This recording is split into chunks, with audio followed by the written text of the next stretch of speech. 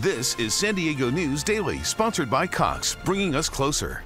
I'm Stephen Luke. Let's get right into your top local stories. The National City Police are on the lookout for two suspects that attacked and kidnapped a 76 year old woman. This was Monday night. They say two men confronted the victim at gunpoint inside the International Church of Praise, and after pistol whipping her, they forced her into her own car, demanded she drive them to her home for reasons still unknown. She then drove them back to National City, and once the suspects got out of the car, the woman was able to escape on foot, fleeing to a nearby laundromat, crying for help. She came up walking. She seemed very upset, and she was beaten in her face.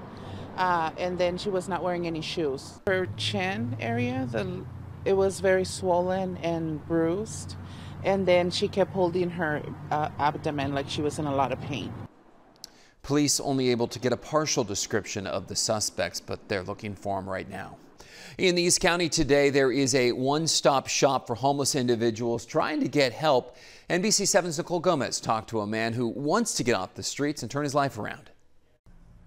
Well, that's right. He was here today to get his ID, taking the first steps in getting housing. He also said he's battling alcoholism and needs resources. I got to go get help for that because I want to quit. I, I want to see my next birthday. It's about time because I am sick and tired of being sick and tired. Like they say at AA meetings, you're sick and tired of being sick and tired. It's time. Richard Johnson is 58 years old and he says he's been living on the streets on and off since he was 18. He told me the cold weather and upcoming rainy season are motivators to get him into housing, but he couldn't get anywhere without an ID.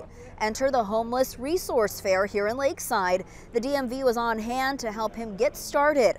Other resources were available as well showers, food, clothing, detox and substance abuse treatment, and public assistance such as medical, EBT, CalWORKs, and welfare. Another opportunity, the Homeless Court Program, where people can clear outstanding warrants for misdemeanor cases, resolve outstanding parking tickets, basically removing any immediate barriers to finding housing. This is the eighth resource fair in the county, and every time more people show up. They might be scared to go into a courthouse, and by having, you know, this collaborative process between the court, the public defender, the DA, the city attorney, to come to them and say, you know what, we're willing to come to you, that really engenders trust and it, it increases that, that great phrase, access to justice. Well, so far, this is the eighth resource fair, and the county says they hope to continue to do more of these events. Reporting from Lakeside, Nicole Gomez, NBC 7. We continue to hear more about fentanyl being a public health crisis, and it is hitting San Diego hard. There have been two mass overdose events that have uh, just been on our radar over the past few weeks alone. And as part of NBC's Seven's newest documentary called Poison Pill, Catherine Garcia is leading this sort of search into what this opioid is all about, the impact on its body, why parents should care. Uh, there's just so many angles to this. She talked to a local doctor as well about why it's so harmful. The most concerning ones as a physician is the fact that the heart rate and the respiratory rate or the breathing rate slows. And when the breathing rate gets low enough, we're no longer able to oxygenate our vital organs, including the brain. And so that's really what's happening during a fatal overdose.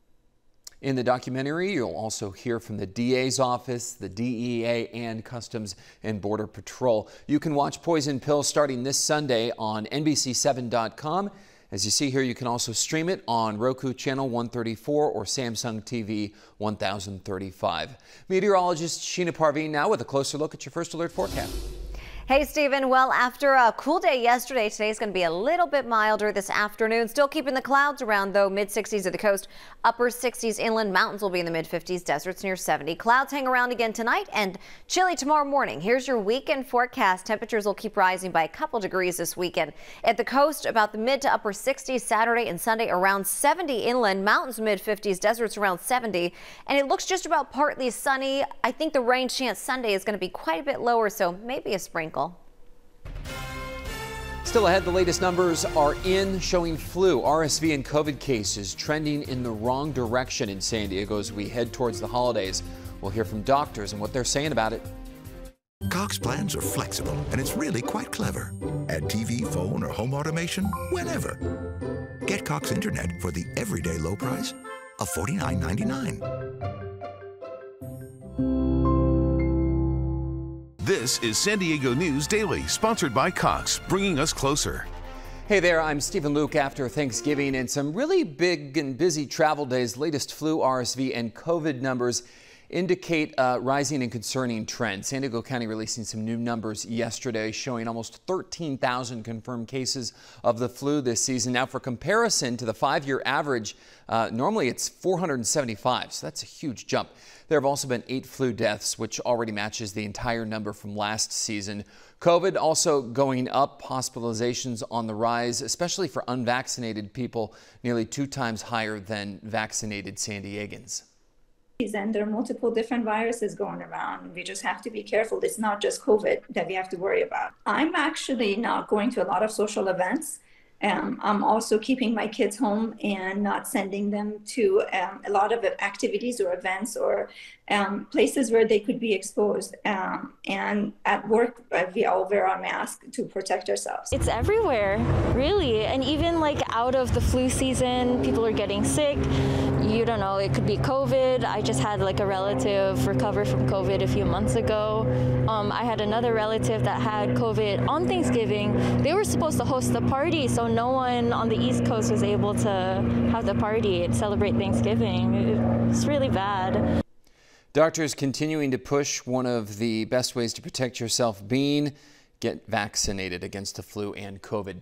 Big holiday gatherings are certainly on tap this weekend, including the return of December Nights uh, kicks off tonight in Balboa Park, just a few hours away. Hundreds of thousands of San Diegans expected to attend this event after it was canceled or modified in the past couple of years because of the pandemic.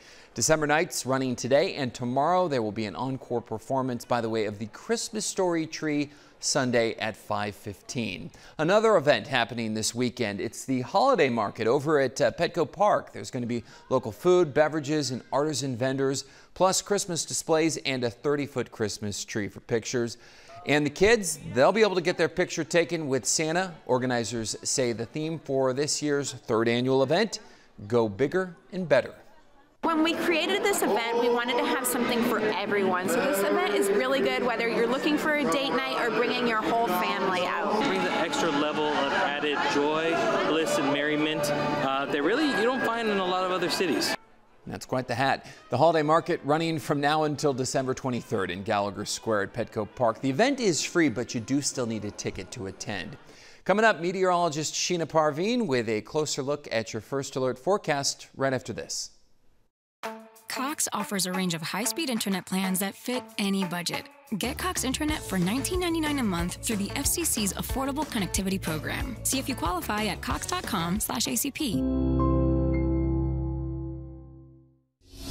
Hi there, I'm NBC 7 meteorologist Sheena Parveen. For today, a little bit milder this afternoon, mid 60s at the coast, upper 60s to mid 60s inland, and we'll keep the clouds around, but we will stay dry. Mountains will be in the 50s, deserts around 70 degrees. This weekend, temperatures rise a couple degrees more.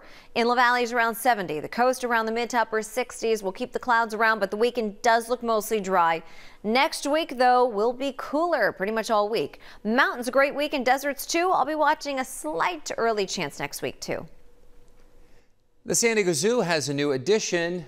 Here he is, 16 month old. That's a close up view right there of this 16 uh, month old, as I mentioned, giraffe recently arriving at the safari park. So the wildlife care team says his name is Rook, and uh, he's a quote unquote a gentleman, settling in well. They say he's developing a strong relationship with his caretakers, and while we don't know exactly how tall he is, these giraffes normally about six feet tall just at birth. They grow, up, of course, up to 19 feet by four years old.